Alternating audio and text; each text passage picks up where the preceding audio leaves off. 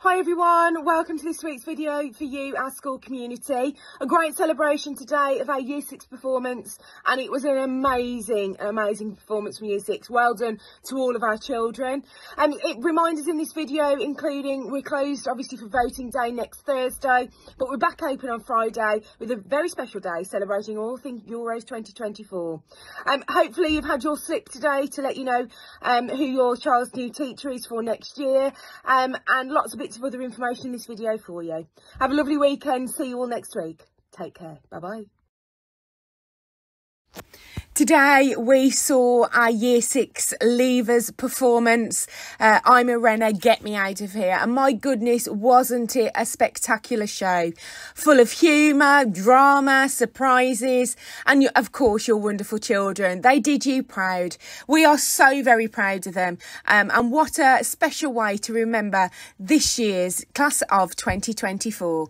Head over to the website very soon where you can see uh, photographs um, and also also um, links to the performance. Uh, thank you for everybody that came and supported us. And I'm sure, you, like me, you had a great afternoon full of entertainment. On the 4th of July, school will be closed to all children. This is because, as you will know, um, a general election has been called and Wren's Nest is being used as the local polling station for the area. Um, so just a reminder, school will be closed to all children on the 4th of July. On Friday, the 5th of July, we are celebrating all things Euros 24. Um, as you know, uh, the Euros are being held and it's a, it's uh, an important event for lots of people. Um, and we're celebrating it here at Wren's Nest. As you can see, children can come in um, something red, white or blue. Can be a t-shirt, can be a headband. Please don't go out and spend any money. You don't need to. Um, but it is to celebrate uh, the Euros happening. And as you can see from this slide, we have a special special menu, football themed, for a special day in school. As we approach the academic, the end of the academic year this year, we look forward to the next one. Um, on Friday, the 28th of June, your child will come home with a slip that looks just like this one. Um, this is information for you as a family to let you know who your child's class teacher is, um, who will that will be working with him in the classroom as support staff, um, and just some plans so you can talk to your child about who their teacher will be next year. If you do have any questions about this, as always, pop in and see one of us. Um, but this will help in the transition process as your child enters their next school year. Here's just a reminder of the key celebrations for our wonderful Year 6, class of 2024, obviously the beach party and also the formal leaver service. Year six, your special celebration for your end of year beach party is on Monday, the 15th of July. It's a really nice evening where we share and make memories together. Um, this evening is from 5 till 7 pm. We've got surprise entertainment, street food, as well as prizes throughout the evening, including one for the very, very best dressed beach ready outfit. I wonder what we'll see this year. We look forward to hosting it for you, and it will be a really nice celebration of your final year here at Wren's Nest. Tickets for our formal Leavers service, the Leavers presentation, uh, will be coming home to you as families on the 5th of July. The Leavers presentation is a really quite mature celebration of your children here at, at Wren's Nest, the time they've been with us, who they are now as individuals, and all that we are proud of them for and what they've achieved here. It is a really special time for you as families to share in it, um, so I do hope you can join us. It's Year 6 last ever event here at Nest. Um, so tickets for this will be coming home to you on the 5th of July. Now for some important information about our transition programme here at Wren's Nest for 2024. Friday the 12th of July is the last day in current classes for your children. This is due to our transition period starting from the following Monday the 15th of July. The reason we have um, our transition programme is that we recognise the fact that change can bring about worries and any anxieties. What our transition period helps to do is ease any of those worries and anxieties. Your child gets to meet their teacher, they get to see where their classroom is, they get to know where their tray is, they get to know where their pegs are. All of those little bits of information help your child to just relax to know what the changes will be in the September they return to school after the long summer holiday. Um, we've run our transition programme for a number of years and we do really think it helps our children and also you as adults as you can get to meet the teachers and the staff that will be working with your children in their new year group. So, transition starts on Monday, the 15th of July. On the morning of the 15th of July, the children will need to go to their current year group. So, say if they're in year four now, they'll go to the, their year four class. Um, and then at home time, they will need to be collected from their new classes. But don't worry, there'll be lots of staff on hand to be able to help you and point you in the right direction.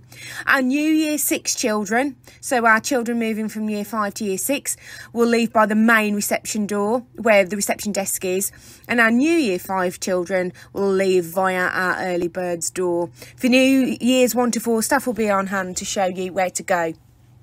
Um, our year seven children will leave via the door that they do currently. Um, so for, if you've got any children that are obviously leaving us this year, they will go to um, the door they normally leave.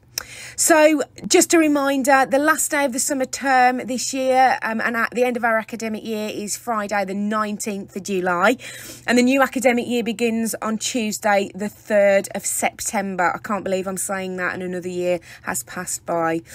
It is a really um, important week for your children, um, and we'll be around to help and remind people where to go um, and what to do. So, please don't let that be a worry for you. We do think the transition period is a really key part of our school programme.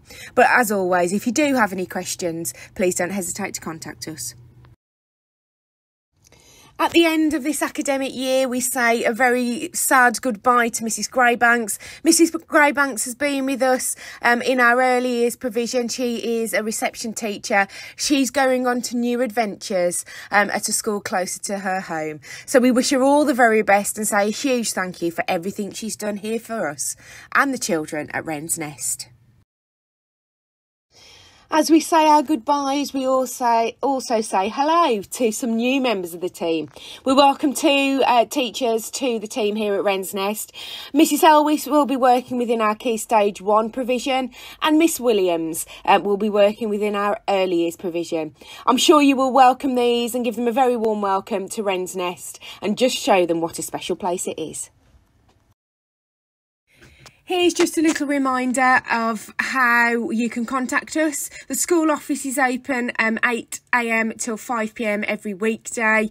Um, you might catch somebody before those times or after those times, but those are the, the times we are definitely open and the office is manned at those times. And of course, the school mobiles.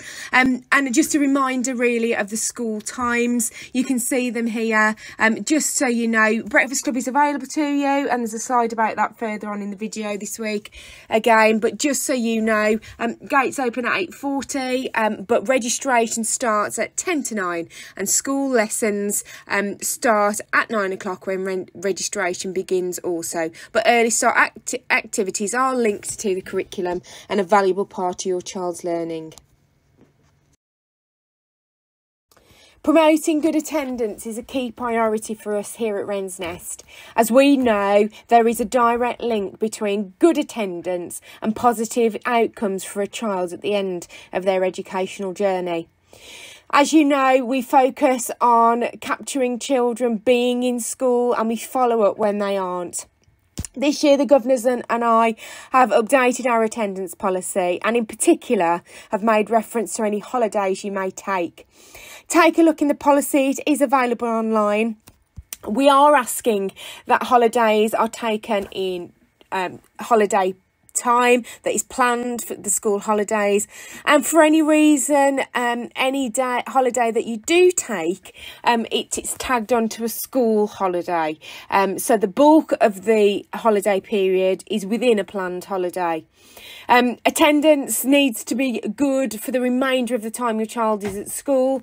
Um, if you choose to do this this way, it is something we are going to pay particular attention to this year and is something that we're particularly focused on.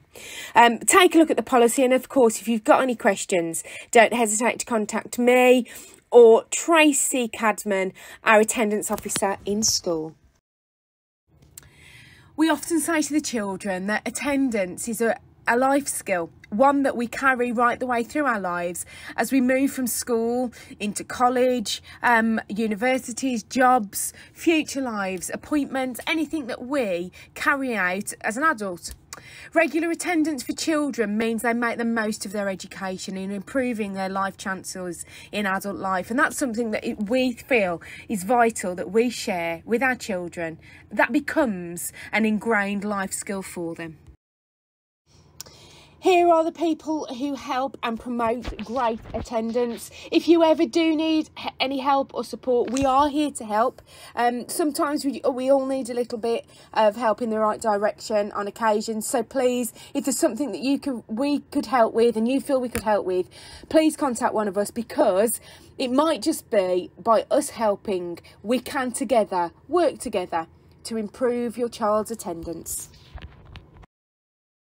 Don't forget, Breakfast Club is open to you. You are welcome. It's free of charge um, and it's a lovely way for your children to start their school day. 8.20 till 8.40 at our Early Birds breakfast door. Um, you're welcome to come in. Your children can play with their friends and have a great start to their school day. Keeping children safe, as you know, is our priority here at Wren's Nest. And this was also recognised during our Ofsted inspection in March 22, when it was commented on, the school is relentless in keeping children safe. We teach your children the importance of having trusted adults in our lives um, at home and at school. And we talk to them about who those people are in school. Um, our designated safeguarding lead is Mrs. Smith. Um, Mrs. Hannah Smith, um, and then we've got deputy uh, designated safeguarding lead, which is myself, um, Miss Harris, Mrs. Cadman, Mrs. Vivash and also Mrs. Smith too. Um, but every adult at this school is a trusted adult um, that a child can go to should they need somebody to talk to, need any help, um, and they're there for them. Um, if you've got any questions about this, you know what I'm going to say, please come and see us and have a chat with us about it. But this is part of us teaching your children how we stay safe, both in school and in the wider world. Remember, you can still send your class teacher an email with work you've done at home or any questions about your learning that you may have. Here are the email addresses for each of the year groups. Um, just another way you can communicate with us if you need to. As always, it's important to stay connected, and the Parent Hub that we have for Wren's Nest, as well as our school website, are the first places to visit to get any up to date information. As you've heard me say before, please pass on any of this key information to anyone you know who doesn't have access to Parent Hub or the school website and pass on this information that can be crucial sometimes um, in giving parents up to date information. So, if you are connected, please pass it on. Here are some of the key contact details for you in terms of how you can contact us as a school. We have two mobile telephones um, that are manned um, every day by our family support work uh, working team. Um, that's available to you. We've got our main school telephone line and also also our email address. This is in addition to our year group email addresses. If you have got any questions, you want to let us know that your child's not in school um, because they're poorly, um, please telephone us or drop us a message um, to let us know why not. Um, any way you want to contact us, this is the way to do it, um, and we're here to help. The door is always open for you we really do value our families and all of that they bring to Wren's Nest. However big or small your question, the door will always be open and we're always here for you. Take care.